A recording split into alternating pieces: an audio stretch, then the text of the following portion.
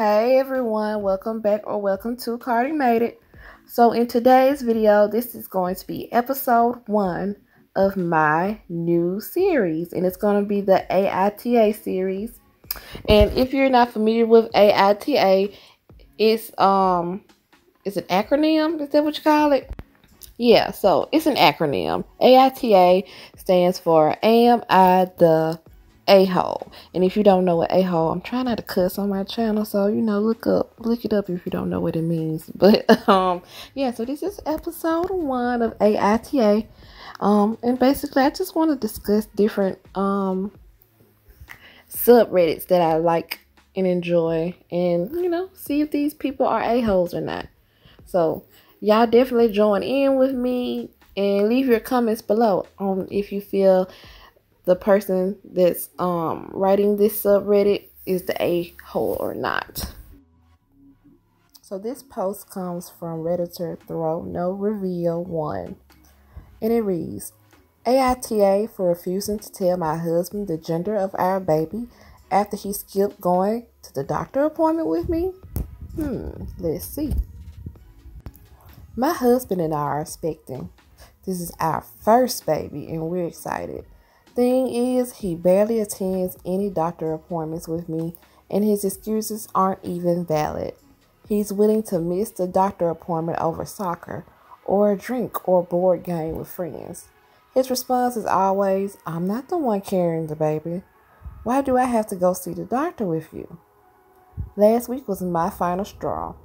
He was supposed to come with me for the baby's gender reveal appointment, but he chose to not come last minute because his friend invited him to fish and chips meal. I was pretty livid, but didn't make a fuss about it. Mom went with me instead. He texted asking me to tell him the results, boy or girl, but I refused to tell him. He kept spam calling me, but I hung up each time.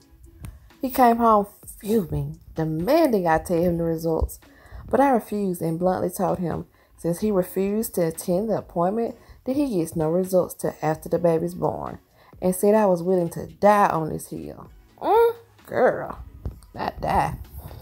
He went off calling me spiteful and immature for doing this and punishing him. He said he's the father and has the right to know.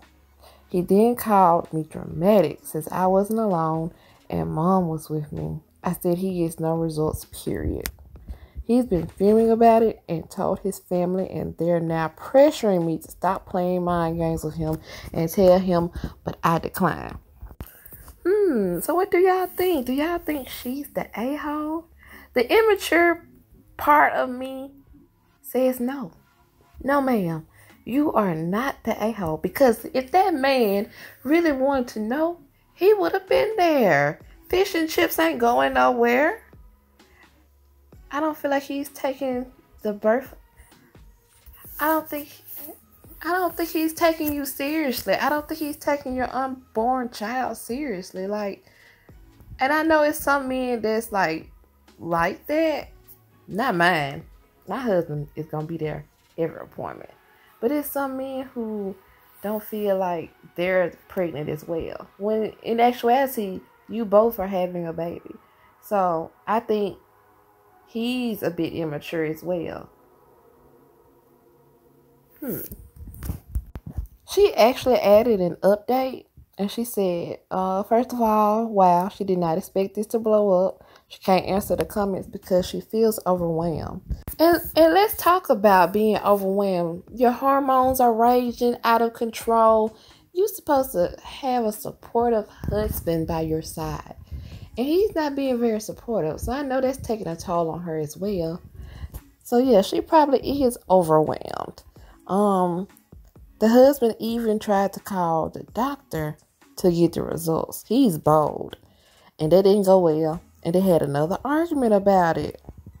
And he didn't even call himself. He had his mom call. That's lying. He's lying. Why didn't he call? You're the father. Maybe Maybe he had the mom try to pretend to be her. Ooh, what if that's what it was? Mm. So let me let me know what y'all think below in the comments. Do I feel like she's the a-hole? As of today, right now, I don't. And that's the petty part of me.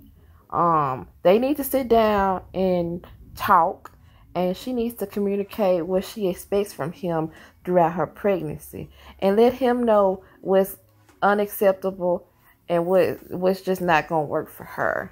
They really need to sit down and talk, and you know, what y'all think? So let's get into some of the comments that's under this um question. The very first one I see is not the a hole. Already a deadbeat dad before the baby even is born. Is even born. Oh my gosh, I didn't want to call him a deadbeat. I didn't want to call him a, a deadbeat because sometimes people change once that baby gets here. So I'm not gonna call him a deadbeat quite yet. I just think he's um misinformed or you know un uneducated on what his role should be during her pregnancy. So I'm not gonna I'm not gonna call him a deadbeat. And that's from Annie eighty four. I feel you though, Annie.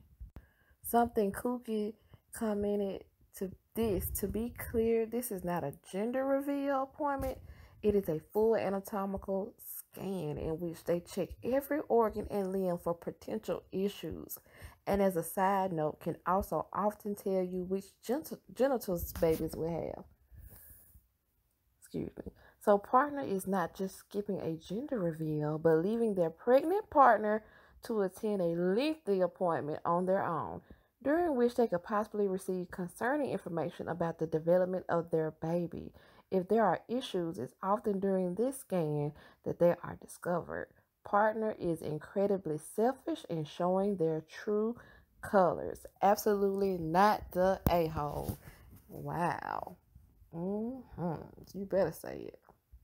And then right under that comment, emotional fan 7011. I'm skipping the underscores. Sorry. But um this right here, she agrees with something kooky this right here, this is the scan where you learn if the baby has a congenital defect. He should have been there. He should have been there because there could have been bad news, not the a-hole original poster. Um, OP really needs to consider if she still wants to be married to the man. Wow. Yes, yes, yes. Do you have any idea? 16 comment. I normally hate how to sub jumps to dump the guy so easily. However, in this case, I think OP is going to be raising the baby on her own. I don't see this bloke changing diapers or getting up during the night.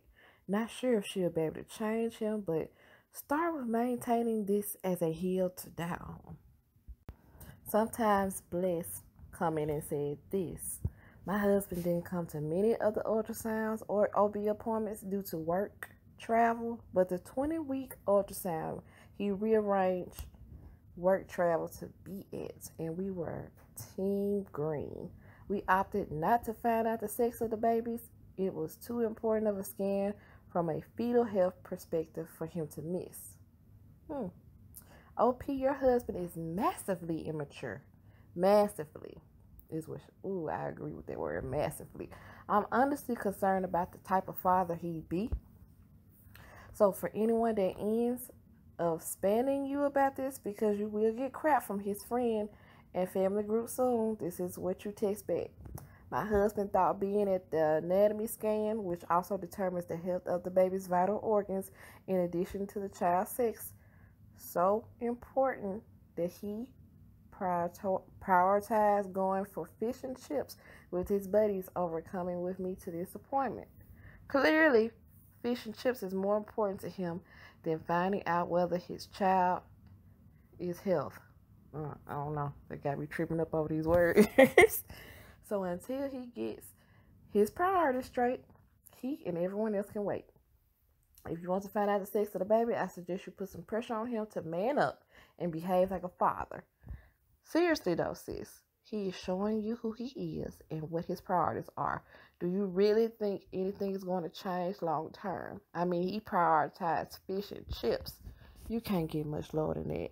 Wow. So I'm going to end reading comments on that note. That was that was that was it. That was the comment right there. Cause ooh, massively immature. I agree.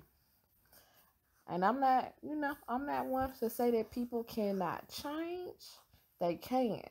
But she needs to get on top of that now. She needs to get that straightened out expeditiously.